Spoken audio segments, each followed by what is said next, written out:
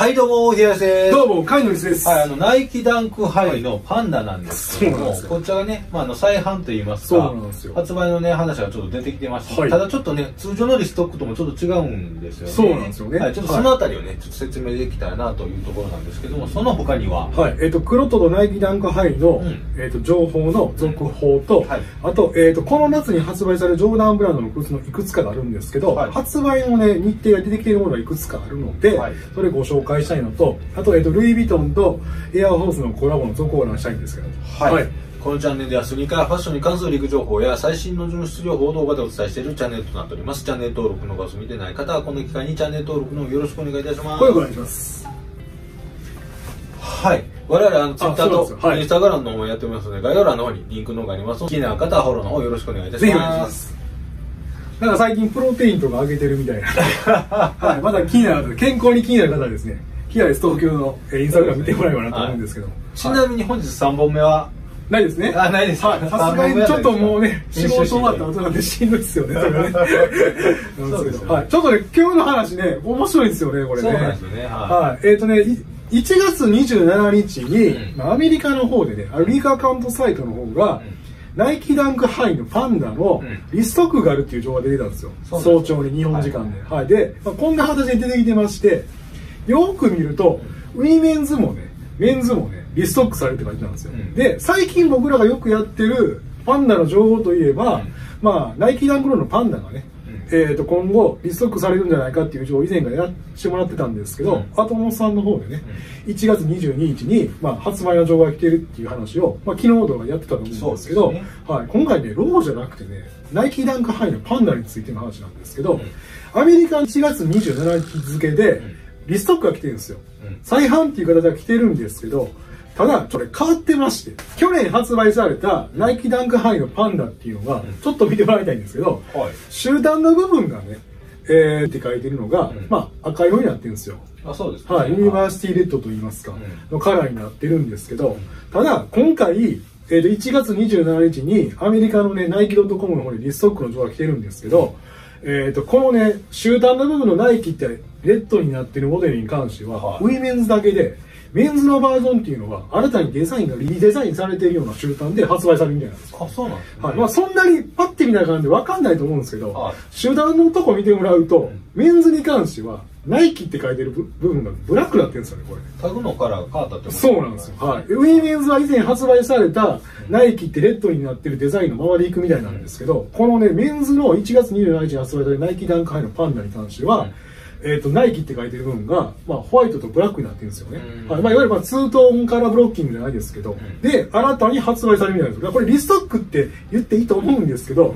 若干のね仕様が変わってると言いますか。まあ、仕様変更がそうなんですよ、はい、そのことを海外のえスニーカー系サイトで出るスニーカーニュースがうん。結構ね言ってたんですよね。あそうなんやと確かに見比べるとウィメンズの方は赤で来てるんですけど以前発売された、メンズに関してはちょっとねデザインが変わってるんですよこれまだ日本での発売情報っていうのは全然出てき来てないんですよね、はい、ただですねこれそのメンズのねこの集団の部分のデザインがカラー変更になってるバージョンの発売が1月27日にねアメリカのナイキ .com であるってことはこれ絶対日本としてナイキの方でも発売するんじゃないかなと思うんですけどねこのカラーのバージョンの方。来てほしいですけどね。そうなんです。ちなみにね、えっと、キス東京の方でもう抽選終わってるんですけど、ん。ナイキダンクハイのパンダのうん。ウィメンズのねリストックがあったんですよねまだ発売されてないんですけど抽選は終わってるんですよ。はいはい。なんで今月なんですけどおそらくまあナイキダンクローのパンダのリストックの情報ね、アトモスさんが出てきてるんですけど、このシュータンの部分がちょっとだけね、変更されてるナイキダンクハイのパンダが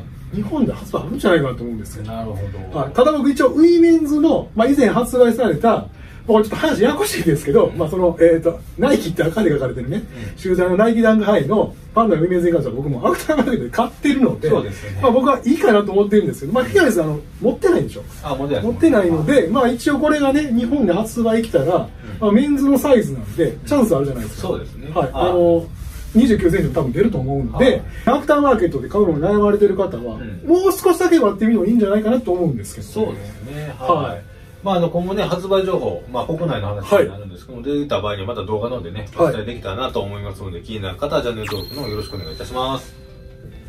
はい、続いてなんですけども、えー前からね、お伝えはしてるんですけども、クロットとナイキダンクハイのコラボの続報が出てきあ、そうですね。はい。持ってらっしゃる方の投稿で、めちゃくちゃかっこいい撮り方してる 写真ができてるんですよ。はいはいは。はいい。で、こんな形で前が角度を変えて、えっ、と、写して投稿されてる写真があったんですけど、はいこれ見て余計欲しになりましたね。これかっこいいですね。はい。でね、えっ、と、ここに書かれてた情報なんですけど、うん以前僕らは、これカミングスーンじゃないかというのをさせてもらったじゃないですか。うんもしくは、えっ、と、ネクストマンスっていう話もあったんで、あるリーカー関のサイトの方で。はいはい。もしかしたら来月発売いきなり来るんじゃないかと思ってたんですけど、はいこのね、えっ、と、情報が出てた海外のスニーカー系サイトには、2022年の後半に発売されるんじゃないかと書いてましたね。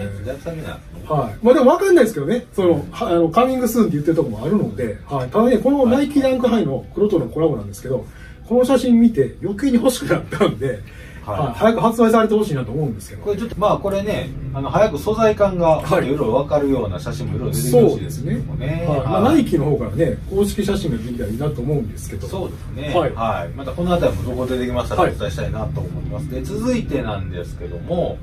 えーエアジョーダン6のレッドオレオですか？はい、こちらの方がね、夏頃に発売されるというのはさせてもらってたんですけど、はい。具体的な日程、6月の4日っていうふうに出てきてるんですけど、はい。ただね、この、えっと、レッドオレオに関して、まあ、以前発売されたエアジョーダン6のオレオってあるんですけど、うん。ホワイトとブラックのカラーブロッキングになっているもので、えっと、ブラックの部分を、まあ、レッドに置換しているようなものが発売されるんじゃないかとさせてもらってたんですけど、はい。実物の投稿がまだなくて、見てもらってるのはこれモック画像なんですよね。はい、で、モック画像の写真とともに6月の4日っていう出てきたので、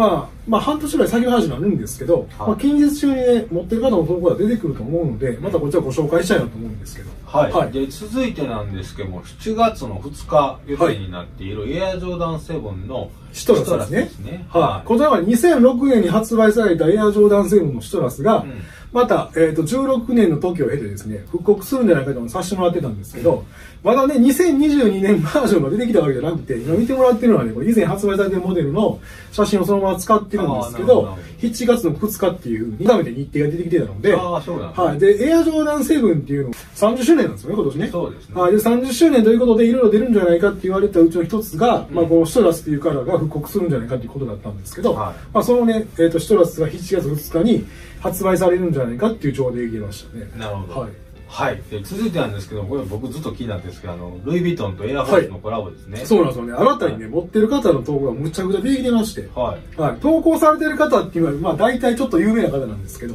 まあ、以前だと、えっ、と、こまあ、閉店してしまったコレットのディレクターやってたサラがですね、これぞコレットっていうカラーのような、えエアフォースワンとルイ・ヴィトンのコラボを上げてたんですけど、はい。それ以外に、エイサップ・モブのエイサップ・バリーじゃないですか、まあ、はい。ヤング・ゴールドっていう、まあ、通称の名前なんですけど、彼のインスタグラムに上がってたのが、この UNC カラーのような水色のエアフォース上げてたんですよ。はい、これをね、正面からであったりとか、集団の裏から撮ってたりとかする写真とか上げてたんですけど、はインソールの部分にね、ルイ・ヴィトンの LV っていうね、あのデザインの方も確認してるので、うん。はい、で、まあ、こういった投稿がありまして、で、これ以外に、えっ、と、以前持ってる方の投稿で、オレンジカラーのね、シラキュースのカラーといいますか、エアホースとルイ・ヴィトンのコラボの投稿があったんですけど、今回ね、なんかイエローのカラーで持ってる方の投稿が出てきまして、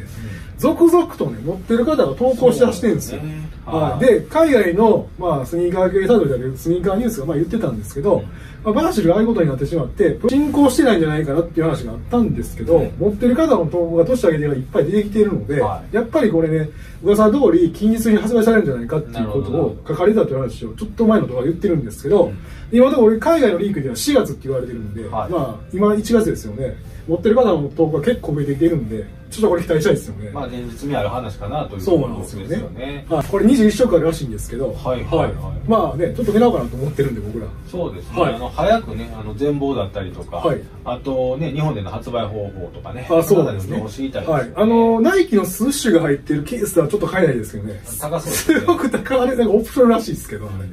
い。まあ、その辺ちょっと分かれば。あのまだ今後もねあの情報出てきましたら動画などでお伝えしていきたいなと思いますので気になる方はチャンネル登録のよろしくお願いいたしこれお願いします。はいそれでは本日は以上となりますヒエレスでした会の目でした。さよなら。